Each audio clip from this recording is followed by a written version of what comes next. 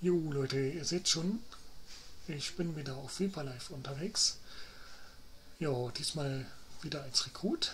Mein erster Tag sozusagen und meine erste Ausbildung. Ja, wir sind mit einem Heli nach Paleto Bay geflogen und dort beginnt dann die eigentliche Ausbildung. Es geht um Verkehrskontrollen und um einen Ladenraub. Ja, ich hoffe jetzt natürlich, dass ich auch wieder dort ankomme, weil als die Sonnenwende war, wurde ich äh, sozusagen natürlich rauskatapultiert, was ja normal ist. Und ich hoffe jetzt, dass ich wieder in Paleto Bay bin, also dort wieder aufwache. Es kann jetzt sein, dass ich wieder in der Stadtmitte bin.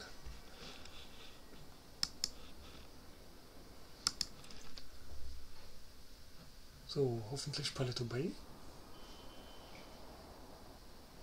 Das sieht sehr gut aus. Tatsächlich Paleto Bay.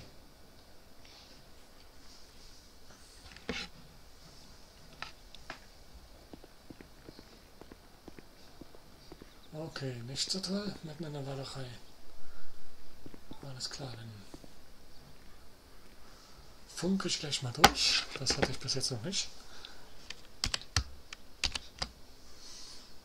Oh halt, geht ja noch nicht. Hier muss ich dann dorthin. Halt. Ich meine natürlich so. Dann Aktion vom Gerät. Und natürlich die 1. Dann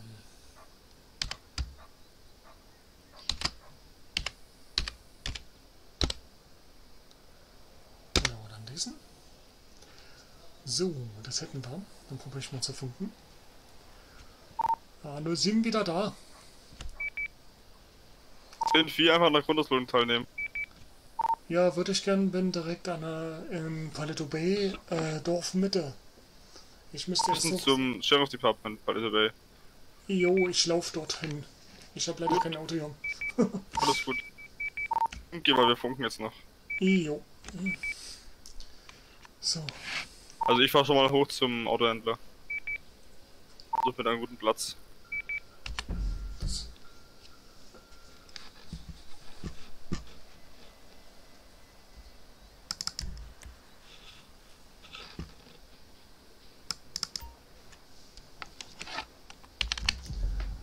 So, Leute, ihr habt es mitbekommen. Ich soll zum Police Department.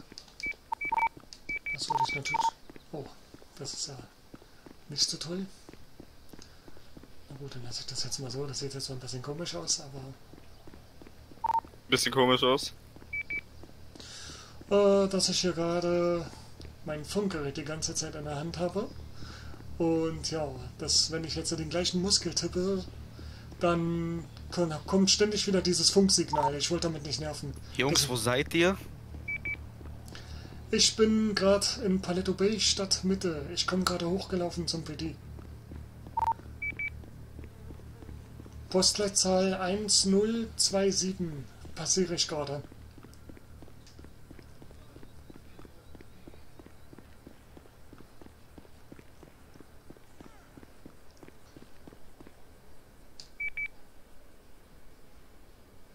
Gut, so funktioniert das. Also wenn es soweit ist, dann fahrt ihr beide einfach schon mal hoch zum Autohändler.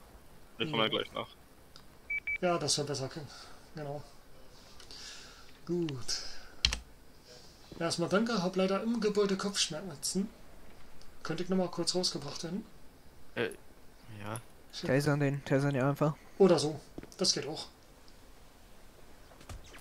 Ja, besser. Danke. Jetzt nehme ich sie fest. So eine schönen Polizeistromschläger. Aber warte mal, macht mein Kollege jetzt eigentlich mit bei mir? Also wir machen zusammen dann? Ja? Geil. Tief Ja, dauert noch ein ja alles machen. Ja, ne? Das ist besser für dich, umso mehr ihr seid. Ja.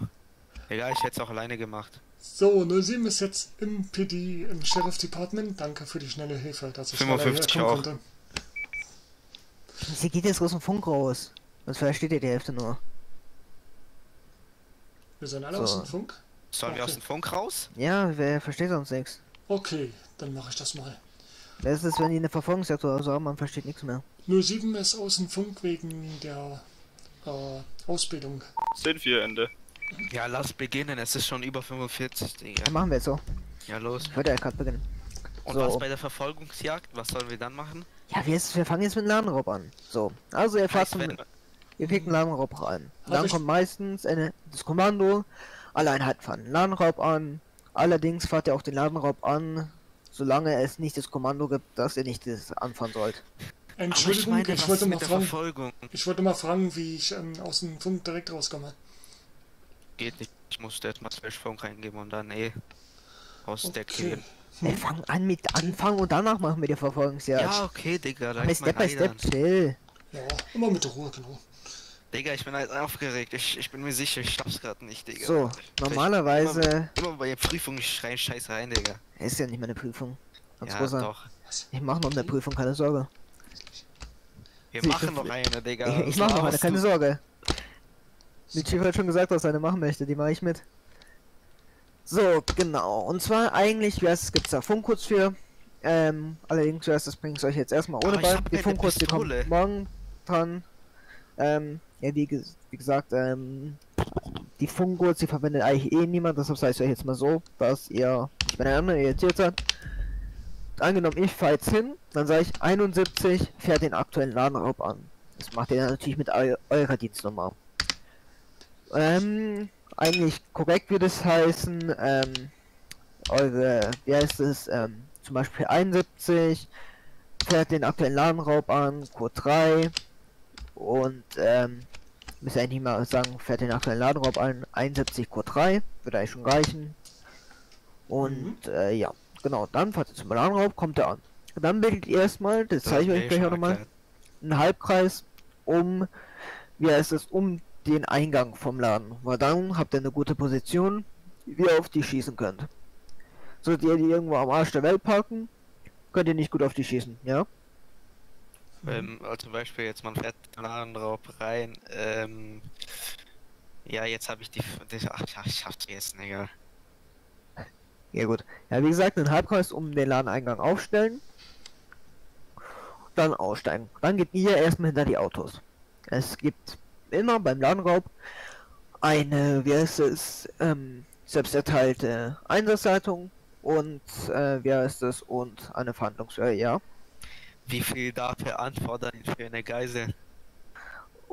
Scheiße, steht ja Bibel drin. Ja, weißt du's? Ich weiß es nicht. Mann, ich auch nicht, äh, Ich habe ja, beim, heißt letzten es, Mal bin ich ein, ich bin eigentlich die Einsatzleitung. ich hab beim letzten Mal mitbekommen, dass die Geiselnehmer nur eine Sache fordern dürfen. Darüber Ja, darf pro Geisel, zum wir müssen nur einer Forderung pro Geisel nachkommen. Geisel. essen. Ja, wie heißt es? Also wir müssen keinen Helis nachkommen oder so, wenn die sowas stellen. Natürlich Polizeiautos auch nicht. Ähm, könnten wir den rein theoretisch hinstellen, macht halt aber gar keinen Sinn, auch von uns aus nicht, weil wir es die eh nicht benutzen dürfen. Hm. Erst sollte es ein Suppenfall werden, kann man uns genauso dafür dann ähm, belangen, wer es ist, weil es ja komplett sinnlos ist. Hm. Genau, wer ist es? Ähm, pro Geisel müssen wir noch auf eine Forderung eingehen. Sollten keine Geisel haben, brauchen wir auch auf keine Forderung eingehen.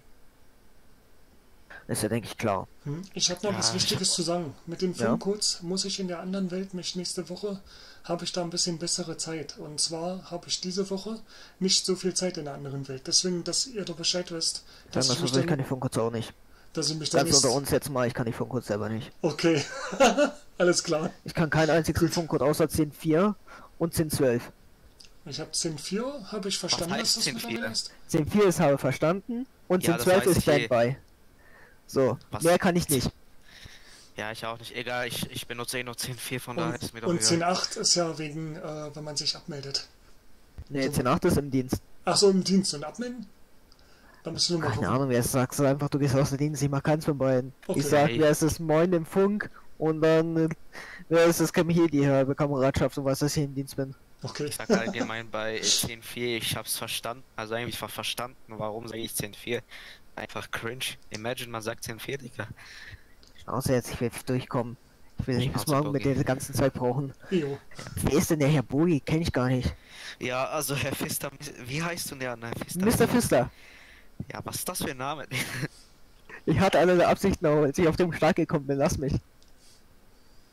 Ich hatte hier komplett andere Absichten. Ich bin auch nur beim PD, weil der Waffenschein zu teuer war fürs Startgeld. Ich will eben ein, ich will noch eine andere Sache darauf hinweisen. Ich müsste auf jeden Fall bald dringend was essen und trinken, wenn es irgendwie möglich ist. Ja, wer ist für, auf den Start?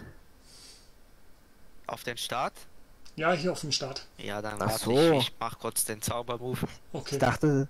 nee, nee, hier auf dem Start. Hier, hier muss ich unbedingt. Warte, ich weiß nicht mal, wie es geht. Ich wollte mal wissen. Bin ich irgendwann nicht mehr gesagt- da oder kann bei der Austeil Ausbildung nicht teilnehmen, weil ich dann irgendwann auf dem Boden liege. Benenne ich es mal so. Ah, warte, ich bin eine halbe Sekunde im Kopf. Jo.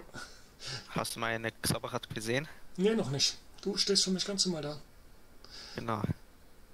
Also ich glaube, jetzt verhungerst du nicht, oder? Doch, ich verhungere immer noch.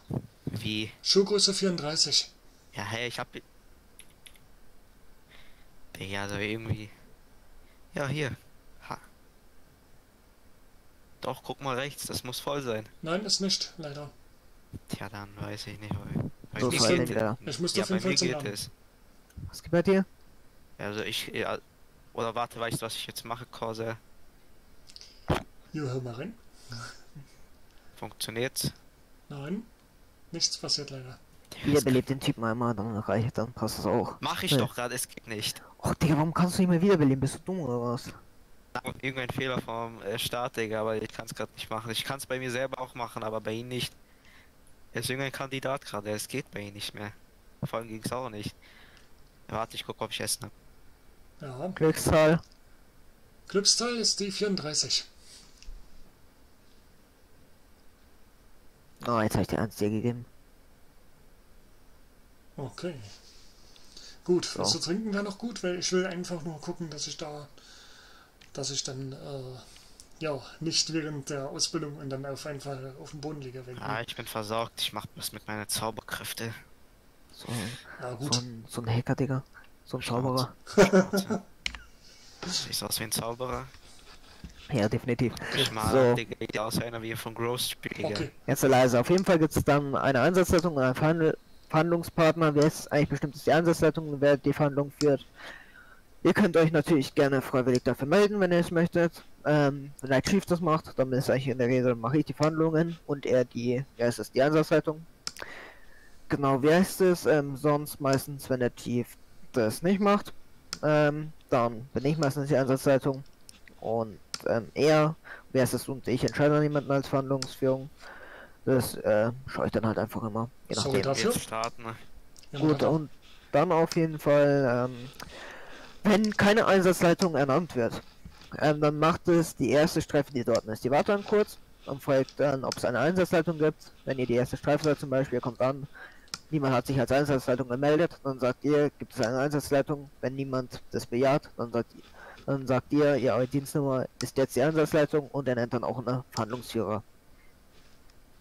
Genau, und dann, wie gesagt, werden die Verhandlungen geführt. Dabei müsst ihr aufpassen, dass ihr einen Mittelpunkt findet zwischen das, ähm, dem Forderungen nachkommen und wie es den Forderungen nicht zu, nicht zu stark nachkommen. Wie es, sie sind immer noch Geiselnehmer. Das sind nicht unsere Freunde. Heißt es, wir brauchen jetzt auch nicht komplett nett zu denen sein oder so. Zum Beispiel, wenn die sagen, wir sollen nach hinten reinkommen zu denen und die anschauen, das machen wir gar nicht. Wir stellen uns nicht alle auf einen Platz oder so für einen freien Abfahrt. Und pro Geisel kommt auch ein- nur einer Nachforderung nach. Ja, Genau. jetzt können wir mal starten. Warum Hä, gibt's gleich eine neue Wende, Digga? Ja, eh. Was ist denn das für ein Müll? So, Ah, das Ich Frage. ja. Ja, was soll das? Ähm, dann ja, äh, machen wir weiter mit einer Verfolgungsjagd und einer Verkehrskontrolle. Verfolgungsjagd kommt ja nur dazu, wenn die Verkehrskontrolle nicht klappt. Und zwar, ähm, ja, äh, Verkehrskontrolle, könnt ihr allgemeine Verkehrskontrolle machen oder wenn jemand halt sehr komisch fährt. Ihr könnt ja immer gerne reinschauen, ganz kurz, ähm, über den sechsten Finger, über Strafe. Da gibt es relativ viele Sachen, für die ihr schon eine Geldstrafe den anderen drücken könnt. Ähm, genau.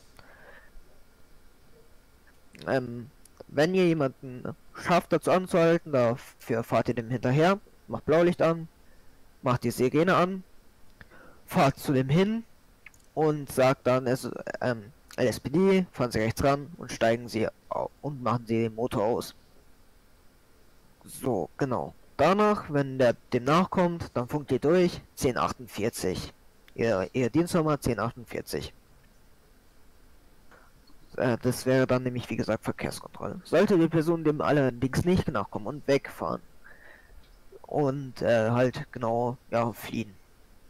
Dann gibt es dafür auch ein, äh, der ist Funkspruch, das wäre 1080. Dabei sagt ihr eure Dienstnummer, 1080 ähm, und das Automodell und wo ihr seid. Zum Beispiel 71, 1080, ähm, schwarzer AMG GTR beim Würfelpark. So. Genau das. starten wir denn jetzt?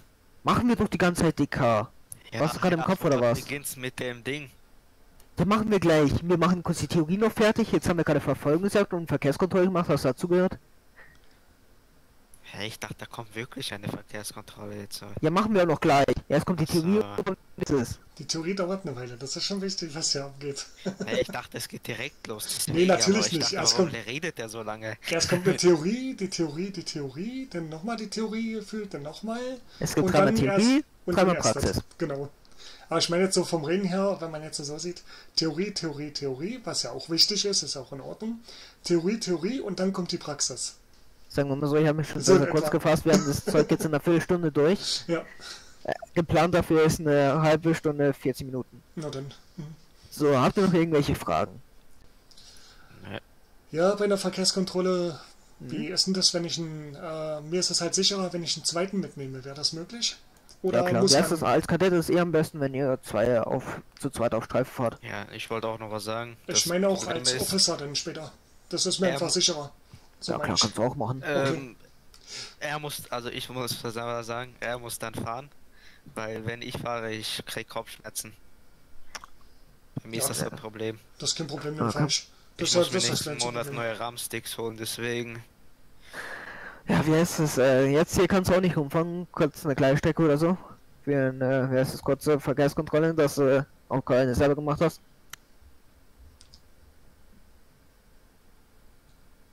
So wie sich das angehört hat, die, die schätze ich mal, würde vielleicht gehen.